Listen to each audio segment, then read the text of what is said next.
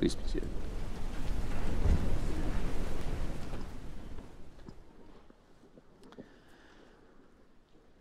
Let's open with a word of prayer.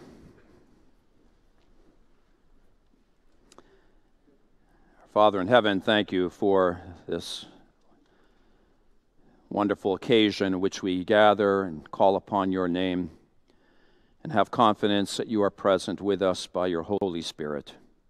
That you who inspired your word will be here to help instruct us and apply it to us. We're thank you, thankful, Lord, again for fresh reminders of, of your love and how it's the case that we get to love because you first loved us. That we love out of an overflowing cup. We love in imitation of your own love for us. And we thank you that we also get to love because of the wonderful examples of your saints who, through the ages, have learned something of your love. We pray, O oh God, that you would make a difference in our lives this week because of what we learn. In your name, amen. It is a great privilege and a lot of fun to be back in the pulpit as your next guest preacher in a long list of wonderful guest preachers. It's been a great month. Uh, we missed a couple of Sundays, but we're here and shared in the experience and, in, and really to be fed by so many excellent, gifted individuals. What a, what a, a great church God has given us. Uh, a number of you asked me uh, during the course of the month, you know, what am I doing during my vacation? And uh, I know it seems strange to imagine your pastor you know, surfing off the coast of Costa Rica, you know, on those amazing waves. And it is strange to imagine that because, of course, it wasn't true. Uh, what I did was had a busman's holiday. I spent the month uh, teaching a course up at Gordon Conwell uh, Theological Seminary on Old Testament prophecies of Christ. And, and incidentally, a number of students asked me to express to you their gratitude, uh, those of you who promised to pray for them especially after you heard that the lectures were three and a half hours long. And uh, that's the academic equivalent of waterboarding. Uh, and I'm hoping most of them survived. I haven't yet finished correcting all the exams, but uh, it's been a great month, and, it, and I was particularly encouraged by the reports we had early in the month about how we ended the year 2015 as a church, at least with respect to the finances. We seem to be in great shape, but I am especially excited that apparently it is the case that in terms at least of nominal dollars, not I, I realize not uh, you know inflation adjusted dollars, but in nominal dollars we had the greatest amount of giving in 2015 to missions in this church in its entire history. Uh, that, that is what a wonderful record to have and an evidence of a church that has a real heart for everything that's outside these walls. Uh, to bring the gospel to Boston, to the academic community through our partnerships with our campus workers, and to the ends of the earth. And may God add to that material blessing his fire that will make it actually make a difference, that we would have hearts to reach out to our neighbors and to live a life that would be an advertisement for Christ and His gospel.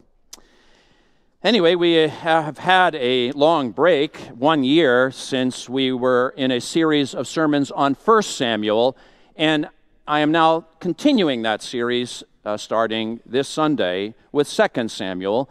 And I know many of you weren't here for the first series, but even those of you who were maybe forgot that it's important to keep in mind that 1 Samuel and 2 Samuel really are just one book. In the original Hebrew text, it was one book. And the only reason that it's become conventional to split it in half into 1 Samuel and 2 Samuel is because when the Old Testament, the Hebrew Old Testament, was translated after Alexander the Great uh, brought in the uh, Hellenistic world empire, after that period of time when so many of God's people, even in Judea, much less spread out all over uh, the uh, empire, so many of them lost their ability to read and understand Hebrew. The Bible was translated into Greek, and Greek is a tough language. Greek is a language where you need twice as many words to express the same content as you get in Hebrew, and the words are all longer. So I tell students at seminary if you can only learn one language, make it uh, for biblical languages anyway. Hebrew is a big payoff versus uh, Greek, it's much. Anyway, uh, it, so when you had all this double size Samuel, and because they were being copied on scrolls, no one could carry around that big scroll, and so for convenience, they split it in half.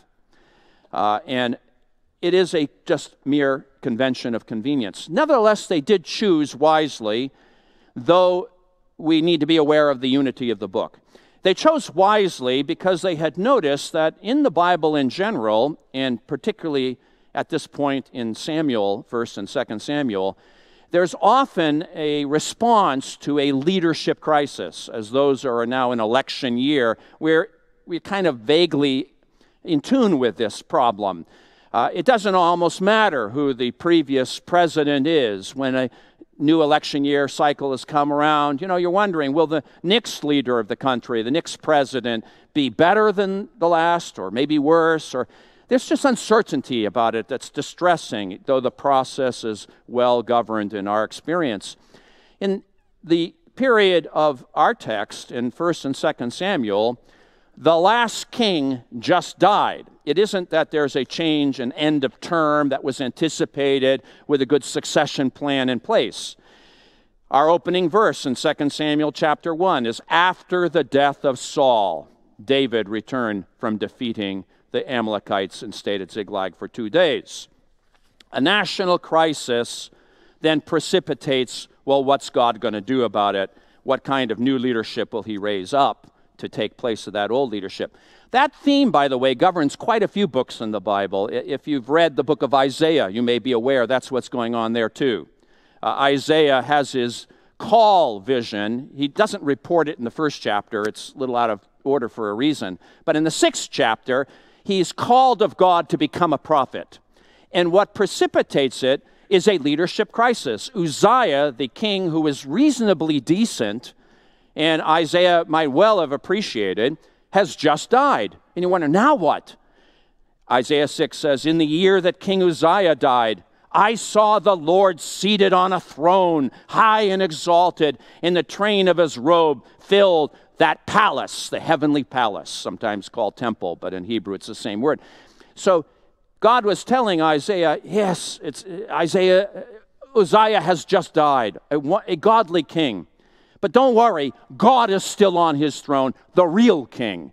And he goes on and says, For I am a man of unclean lips, and I live among a people of unclean lips, and my eyes have seen the king, the Lord of hosts. Well, when you have your eyes on him, you're not so worried about that other throne there, whether it's in Jerusalem or Washington, D.C. Uh, we keep our eyes on him. And other books do the same thing. You can imagine how tough it was after Moses died, right? I mean, Moses, amazing amazingly godly man, not perfect, but compelling in all of his offices as a leader, a kind of kingly figure, a priest, and a prophet, all rolled into one. And so the book of Joshua, that follows the books of Moses, starts in its opening words After the death of Moses, the servant of the Lord, the Lord said to Joshua. So you start with the transition, the leadership problem. After the death of Moses, what's God going to do? He's going to raise up a second Moses in the person of Joshua. And then after Joshua, he was a great guy. After he died, you're wondering, now what? So the book of Judges starts in its first verse after the death of Joshua. The Israelites asked the Lord, Who will be the first to go up and fight for us against the Canaanites? It's a leadership crisis that introduces the book of Judges, just like introduced the book of Joshua, and just like introduces 2 Samuel. The very same vocabulary, only now it's after the death of Saul, David. David will be God's answer to the crisis. Well, that explains why the break is logical, but you need to, again, kind of erase the break in your mind because this chapter assumes you understand and know and remember the chapters you just read, the last chapters of First Samuel. And so I have no option but to kind of bring in some of that historical background so you really so you really get it and, and appreciate it. For one thing, the previous chapter, well, in this chapter, we have an Amalekite messenger telling David why what just happened, why he's kind of experiencing Ash Wednesday. You know, he's got ashes on his head and he's wearing a, a tattered robe. He's coming as a messenger with obviously bad news because he has the outward markings of grief. Uh, inwardly, it's questionable whether he's grieving at all. But outwardly, he looks like he is, and I guess that can often, often happen to us too. We can kind of put on a mask uh, both of happiness on occasion when that's needed and of sadness on other occasions. And in this case, here he is, pretending at least to be very unhappy, bringing the news from the battlefront. And then, by the way, he happens to have the crown uh, and gives it to David, and happens to have the royal insignia, the armband, he gives to David, the rightful heir to the throne from heaven's perspective. Uh, and he acknowledges David as his Lord and falls down before him in a gesture of pro- self prostration, acknowledging David. So he's, uh, you know, seeming to, you know, acknowledge that here the leadership transition is about to happen. Uh, that, and oh, by the way, he has a little reality enhancing positive illusion in the way he describes how he knows what he knows. He claims that Saul uh, had fallen on his sword but hadn't yet died and needed some physician assisted suicide help. And he, he did the coup de grace, he did the final uh, uh, killing of Saul because, after all, he wasn't going to be able to survive anyway. But he emphasizes his role in this. But you and I, if we just read the previous chapter, we know what actually happened. This is his story, and this is the only thing David knows. And so, David, in the outcome, you know, in the response, as you know, I just read it, uh, he's not at all happy and can't, he's appalled by this man's temerity in raising a hand against the Lord's anointed and pronounces judgment based on what he said. And the judgment is capital punishment, and he calls another person in to put him to death. Obviously, the Amalekite messenger wasn't expecting that. Uh, he thought instead it would be the exact opposite. In chapter 31, there was no Amalekite. He clearly was there. That's how he, he was close at hand. Uh, he, he clearly had access to the crown and was must, apparently was even closer than the Philistine enemies who were coming in uh, because they would have taken the crown, I can assure you, and also the armband, just like they'll take the body and the head of Saul after they decapitate him. Uh, no, he was there, all right. But what he overheard was what is the real story, which is Saul, yes, was frightened to death by the prospect of what the enemy Philistines were about to do. They were pressing in on him. An a archer had uh, fired an arrow from some distance and it managed to land, and he hadn't died. And so he's crying out for, to his armor bearer for the armor bearer to run him through so that he will not be alive when the enemy comes. And the armor bearer, of course, being an armor bearer sworn to protect the life of the king, he will not do it. Of course, he won't. He believes in the sanctity of life, particularly of the king, King Saul, even if Saul deserves to die in some uh, uh heaven's perspective way. Uh, he was unfaithful in many respects and was wicked, actually, in many ways, as well as being good. Uh, a curious mixture of both. In any case, we know what really happened, and so the Amalekite apparently, uh, apparently uh, made a poor calculation. Uh, he thought this would be good news. How do we know he's lying, other than the fact that the narrator, the inspired author of Scripture tells us what actually happened in the previous chapter. How do we know he's lying? Well, because he's an Amalekite. And you can tell an Amalekite is lying because their lips are moving. Uh, in the Bible, they're always portrayed in the most negative possible way. They're kind of the ancient equivalent of ISIS because they deliberately target non combatants. They're terrorists. They love when, when an enemy, well, in this case, a, a war is going on, they come like vultures uh, pouncing upon the plunder and hoping to get a share, though they weren't in the battle. Or when they get into battle, they target the women and children and the elderly. Uh, because, well, they're kind of basically out for genocide and they plan to take everything for themselves. In fact, Israel, we know the Amalekites, unfortunately, if you know the story of the Exodus, they were the first enemies of Israel after God miraculously delivered them out of Egypt. Here, the pillar of fire and cloud delivered Israel with mighty acts of judgment, the plagues against Egypt, causing the Red Sea to divide. And just afterward, there's this period of wandering through the wilderness as Israel is making their way under the leadership of the Lord to Mount Sinai, where he will enter into covenant with them and give them the Ten Commandments.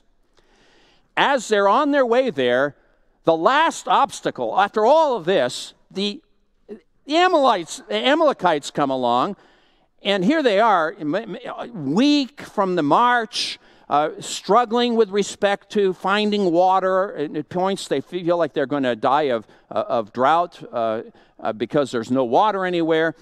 And in this weakened condition, well, this is what Moses says about it in Deuteronomy 25. Remember what the Amalekites did to you along the way when you came up out of Egypt.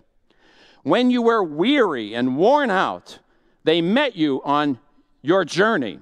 Uh, Israel hadn't attacked them, Israel wasn't any threat to them. This was an unprovoked terrorist attack against a weakened people, escaped slaves who have no weapons. When you were weary and worn out, they met you on your journey and cut off all who were lagging behind. That's the women, the children, the infirm, the elderly. They had no fear of God. I mean, can you imagine the temerity of going after this people for whom God had so miraculously intervened to get them where they are? And now you're going to fight them? There's a demonic aspect to their animus, it seems to me that they would do this. When the Lord your God gives you rest, Moses said, from all your enemies, once you're settled in the land, once you've dealt with the Canaanites, who also have been offending me for 400 years, then remember the Amalekites and blot out their memory from under heaven. Do not forget.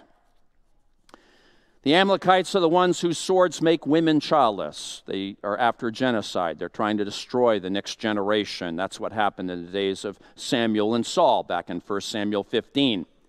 And they continue to be a disaster right to the end of the Old Testament. Uh, the book of Esther is all about a remaining contingent of Am- Amalekites and a man named Agag, who's like the Hitler of the Old Testament. He, he, he tries to bring about the genocide of all the Jews in the Persian period in the book of Esther. Anyway, but the immediate context is our text begins after the death of Saul, David returned from defeating the Amalekites. Here we are reminded that just two chapters earlier, while Saul was up north 50 miles north of Jerusalem on Mount Gilboa with the camp of Israel, running away from the Philistines who were pressing the battle and, and clearly winning. When Paul, Saul was up there, David was down 100 miles south of there, defeating the Amalekites, fighting them in the Negev. And as he won, he would share the booty with the various cities of Judah. So everyone knows that's where he was. Uh, he had no part in Saul's death. Anyway, there's the context.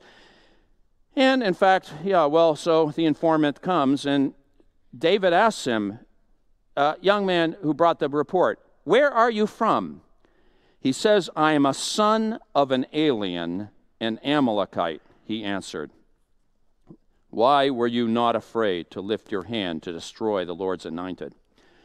So this man is an Amalekite, but he's also a son of an alien. And unfortunately, in English nowadays, that implies he came from outer space. Uh, modern translations don't do it that way anymore. They prefer the much more helpful interpretation. He was an immigrant. He's now a resident alien. His parents became Israelites. They were Amalekites, and they're now Israelites. That was possible. We forget this. God pronounced judgment on the Amalekites, told Israel, when you get a chance, when you're finally at peace, wipe them out. They tried to commit genocide against you. I now pronounce a judgment fit the crime. There'll be genocide of them. But there's no rush. We'll work first on the Canaanites, all right? So they're like, they're like on death row until God gets around to dealing with them.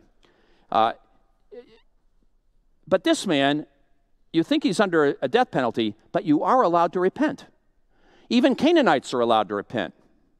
Rahab the harlot clearly was a Canaanite. She was a citizen of Jericho and a worse than Canaanite, uh, the worst example of Canaanites in her sexual immorality, at least according to Leviticus 18 and 20. That's one of the reasons God brought judgment to the Canaanites because of their cult use of, of sex and all the other things they were doing, incest, etc. But she repented. And once she repented, she's now an Israelite, a person of God's family, incorporated into the tribe of Judah, and an ancestress of King David and ultimately of Jesus. So you can repent, and the Amalekites could too. And this Amalekite family appeared to repent. But we're going to discover well, he clearly must have gone to Sunday school. He knows a lot about David. He left the he was in the Israelite camp, but he escaped when others were getting killed. He decides to get out early, brings the crown and the armlet, the royal insignia. Three days' journey, like an arrow, down to David. He knows the promise of the throne is with David. God had, through Samuel, already anointed David as the next king of Israel. He knows he's the legitimate king, and he's coming down with full knowledge of all this, but he's still on the inside an Amalekite. And why do I say that? He's not like Rahab, who really converted. He just has an outward show. You know, Billy Graham used to say, you know, you're not a Christian just because you're in church, you know, right? Uh, any more than uh, you're a car if you happen to be in a garage. Uh, you got to be changed on the inside to be a Christian. And in the same way for God's people in the Old Testament. But he was still an Amalekite on the inside. Why do we know that? Well, we know that because only an Amalekite on the inside would ever have imagined that David would be happy to hear the news that Saul was dead. Only an Amalekite on the inside would be thinking he'll be dancing on Saul's grave, and in fact, he'll hold a party, and he'll probably make me, I don't know, in charge of the harem or whatever, you know. And so, if I can emphasize my role in killing Saul, that'll all be just all to the good. Only an Amalekite would think that. When he shared his news, David and all the men with him took hold of their own clothes and tore them, and they mourned and wept and fasted till evening. They fasted because when you're grief stricken, you don't feel like eating. He wept because, not because he's a politician who knows how to moisten his eyes in order to, at a right moment, look like he's feelingly entering into a sad story or something. His, yes, David feels deeply. He does cry a number of times in the Bible. There are at least four Psalms where he cries before the Lord, and they're always with good reason. He wept, in fact, uh, prior to that battle against the Amalekites that he was fighting. When he came, he had been away with the Philistines as they were marching to take on Saul, pretending to have defected to the Philistines, but actually planning to be a fifth column and fight from within. They got rid of him and said, You go back home, we know what you have in mind. And having been away from Ziklag, he and his 600 men who were his elite guards and soldiers, they came back and they saw the smoldering ruins of their hometown. Now, you got to imagine how, how that would feel. You're David or one of his men. You come back and you can see already in the distance Ziklag has been burned by Amalekites. Then you get closer and you realize all your valuables have been stolen by Amalekites. And then you wonder, where are the people? Where are my, where's my wife, my children? And all of them have been kidnapped by the Amalekites. And so David and his 600 men, after weeping, and the Bible says he was weeping. Do you think that was made up weeping? No, that's real weeping. In fact, the Bible says he found strength in the Lord because it was so inconsolably grievous what happened. Finding strength in the Lord, he then marshaled, you know, called his men to arms, and they went after the Amalekites and rescued all of those kidnapped family members. Found that the Amalekites had actually done this to a number of other cities, and he generously returns all the booty to all of them and doesn't keep it for himself. In any case, he doesn't weep just for the fun of it. Yes, he weeps later on when his infant son dies. You would too. Interestingly, he weeps when Absalom, his older son, dies. Absalom, who, like Saul, had turned against him like Saul. Originally, he was, like any father, probably had a terrific relationship with Absalom. No doubt he did. Absalom turned against him, just like Saul turned against him. David and Saul had a great relationship at first. Saul turned against him. Absalom actually even slept with his father's concubines or wives. He tried to, you know, he did everything he could to ruin his father and to rebel against him, and he wanted to kill his father. Saul did the same thing. Saul took David's wife, Michal, Saul's own daughter, married to David, his son in law, and gave his daughter to another man. He broke he deliberately broke up the marriage of his son to Michal. Can you imagine how if you were David how you'd feel about your father-in-law if he tried to break up your marriage and took your wife away, alienated her affections from you? And yet when Absalom died, who did much the same thing, who wanted to kill his father, David wept were they crocodile tears? Were they for the sake of the cameras? No. The king was shaken. It, it, says, He went up to the room over the gateway and wept, and as he went, he cried, Oh, my son Absalom, my son, my son Absalom, if only I had died instead of you. Oh, Absalom, my son, my son. That's what he does when his son acts just like Saul. And here he does it ahead of time at the beginning of 2 Samuel. His weeping is not because he does not love Saul. And in fact, when he pronounces judgment against the Amalekite, he is holding the Amalekite to the very same standards that he held himself to. We know that Saul had tried to murder David three times directly. Twice he tried to get him murdered by the Philistines, sending him on an, what would have been a fatal errand with a way too few men going against a vast army. And to Saul's disappointment, David won each time. Then he orders his own son Jonathan and others in his closest circle if you get a chance, kill David. He then hunts David down for half of the second part of 2 Samuel, I mean, 1 Samuel, hunting him down one place after another. And all the time, totally inexcusable. As David, Saul's own son Jonathan said, Let not the king do wrong to his servant David. He's not wronged you, Dad. And what he has done has benefited you greatly. He took his life in his own hands when he killed the Philistine. The Lord won a great victory for all of Israel, and you saw it, and you were glad. Why then would you do wrong to an innocent man like David by killing him for no reason? Jonathan, the son, tried to intervene twice in this way with his father. The first time it worked. The second time, Saul just became angry with his son Jonathan and tried to kill his son. He wouldn't hear it anymore.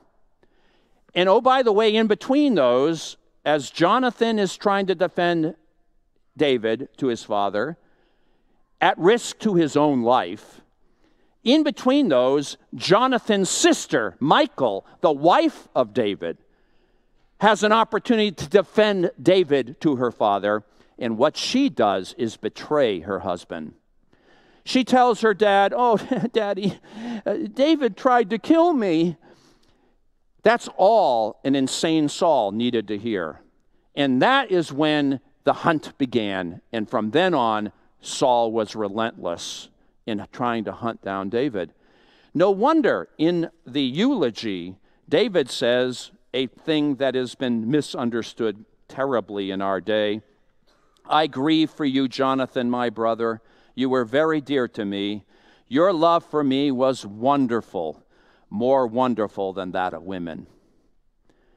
He's not talking about sex here, he's talking about loyalty putting my interests before your own. Jonathan abdicated the throne to David. He took the royal garments that were expressive of his right to inherit the throne after Saul might die and put them on David because he recognized in David a greater, more faithful individual than himself. He put David's interests before his own. He defends David at risk to his life. Michal, his sister, in their marriage, when she had a chance, betrays David. Was there sex in this marriage, in this relationship with Jonathan? Of course not. It, it, the problem for us in our day is we've sexualized every relationship and we don't know what a real love, affectionate relationship is without it. Jonathan loved him loved David as his own soul. In chapter 18 and 19, 20, three times we read, Jonathan loved David as his own soul. Repeated three times in those chapters in 1 Samuel. No one has a sexual relationship with their own soul.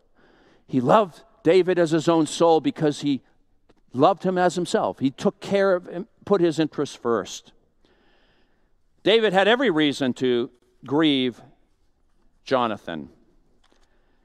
And that would make sense even to an Amalekite. But he had no reason, humanly speaking, to grieve Saul. And only an Amalekite would fail to know why.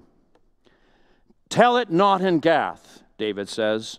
Proclaim it not in the streets of Ashkelon lest the daughters of the Philistines be glad, lest the daughters of the uncircumcised rejoice. So, what will the takeaway from this morning's sermon be? This is where we're heading into the takeaway. Watch your mouth. Tell it not in Gath. Proclaim it not in the streets of Ashkelon, lest the daughters of the Philistines be glad lest the daughters of the uncircumcised rejoice. Oh, if David were a Philistine, he'd be glad to hear the news that Saul is dead. But not David. Not David, because David knows Saul. He knows him at his best, and he loves him enough to disregard the worst. Uh, not David, because he knows that what happened to Saul is an assault on the honor of God Himself. Because David knows he's the Lord's anointed. He sees Saul through God's eyes, identifies him in terms of God. Of course, David had the goods on Saul. David could have turned the air blue, telling us all the things Saul did, and we know he did do those things. He tried to ruin him, he wrecked his marriage, he tried to kill him. Maybe there's someone at work that is trying to undo you in some way. Talks to the boss all the time, and when you're not there, and disparages you, how would you feel if you then came to work tomorrow and heard that he's been that person has been transferred to the North Dakota office? You know, eh, eh, wouldn't there be like a little leap of joy and you know, I, I don't know, eh, but not Saul. How do you feel if your neighbor with whom you've been constantly du- duking it out, you know, and whose tree belongs to whom, and, you know, it just seems endless, you can never please him, decides to move out of town? Well, you might rejoice a little bit. Or how about if you find out that the guy at work is fired, or the person on the committee that always votes against you? It doesn't matter. You know, you could say, I, I move in favor of calling the sky blue. No, no, that's, you know, I've seen it other colors, and, you know, anyway, you know, and then now he's put onto another committee. How would you feel? I can tell you if we're going to follow David's example, tell it not in Gath, publish it not in the streets of Ashkelon. No, you don't let your hearts rejoice over these things. There's no gloating. Job chapter 31, Job says, If I've rejoiced at my enemy's misfortune or gloated over the trouble that came to me, this that has happened to me would be maybe understandable. But I haven't done that. Proverbs 24 says, Do not gloat when your enemy falls. When he stumbles, do not let your heart rejoice. It's not just a matter of being polite enough not to say some nasty thing in a eulogy. By the way, I've, I've actually heard more than 20 eulogies this during the month of January. I've had, uh, you know, it's amazing. You know, people have a great ability to see good in others. In fact, in one funeral, after 13 eulogies, it was a long funeral, from, why, uh, from family members and friends and coworkers, it wasn't on the schedule. The wife decided, bless her heart, she decided to get up and she wanted to share and say, Wow, who is this man I was married to? You know, it's like she didn't recognize him, you know, through all of this. I mean, it, it, everyone, and that was, of course, the whole service broke out in laughter. It was terribly funny. And then you realize, but wait a minute, forget the funniness part of it. All of us, if we wanted to, we could focus on what's good. It isn't hard. You know why? Because God made us, and God doesn't make junk. And there's always good things. Saul was all the, th- it's not that David makes up anything here. He doesn't say, Oh, Saul, we're going to miss you. You were so spiritual and you never missed a church service. And, you know, not, nothing is made up. There's no lying. Everything he says about Saul in this wonderful tribute to Saul is true. And it was something for which people should be grateful. He was very, Saul was generous, unlike many leaders who were self enriching. Saul didn't do that. He didn't even build a palace. He shared all the booty with the women and the families and others who didn't even engage in the battle. There were many good things that could be said about him. He was dear, according to David. Yes, David would tell Saul to his face the problems, and he does. You go back and you look in in 1 Samuel. Matthew 18 tells us if your brother sins against you, go by yourself, tell him alone. This is not a call to cover up. If there are problems, talk to the person who has been a problem and see if there can't be reconciliation. It's not don't tell God. You can read, you know, some of the Psalm 109. Think of some of the Psalms where David is pouring out his heart and telling God, telling uh, on, on Saul to God in no uncertain terms. He doesn't spare a detail. Tell God everything about what that person's doing to you. But he will not tell anyone else. He will not publish it, lest Philistines overhear it that get some secret pleasure out of hearing that your predecessor was a jerk. I mean, here, David is in line to take over. This is his golden opportunity to say, well, the new administration, we're, me, you know, Saul really wrecked it. The poor guy, you know, he wasn't even consulting God at the end. He was going to witches at Endor. I'm not going to do that. Vote for me. But actually, he is unwilling to do that. He's unwilling to badmouth his predecessor, even though it would be to his advantage. A lot of people are going to give up stuff for Lent. Uh, I'm not really like into Lent. I admit, I'm being a Congregationalist. We tend not to have. I mean, I love I love Christmas. I love Easter, and and I, I, I go along with that Lent. But I'm I'm not like really into it. I am thinking of giving up vegetables for Lent, uh, uh, and you may have your own favorite list. But from this text, with Ash Wednesday coming on this Wednesday, let me challenge you to give up bad mouthing others for Lent. Watch your mouth and what comes out of it. You can tell God, you can tell the person, but don't tell anyone else. Nothing to the other person. Do not let any unwholesome talk come out of your mouth, Paul writes in Ephesians 4, but only what would be helpful for building others up according to their needs, that it may benefit those who listen. And do not grieve the Holy Spirit of God, uh, who is, with whom you are sealed for the day of redemption. Get rid of all bitterness, rage, and anger, and brawling, and slander, along with every form of malice. Be kind. You know, the preschooler teachers here at Park Street, uh, you hear them telling the children, use your kind words. So you get to give up bad mouthing and use your kind words instead. Pretend every day is a eulogy. Only tell the good things about others to each other.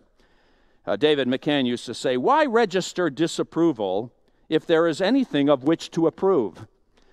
So, you know, you can talk about the sermon on your way home, but only emphasize the good that. Uh, that would be one takeaway. Uh, Janie told me afterward, I wrecked, I wrecked it for her. She was planning on writing a tell all, and the royalties would take care of retirement. Uh, tell all on me, that is. Uh, anyway, uh, yeah. The scripture tells us to watch our mouth. And if you're going to do that, you're going to have to watch what is in your heart. There's no other way to do it.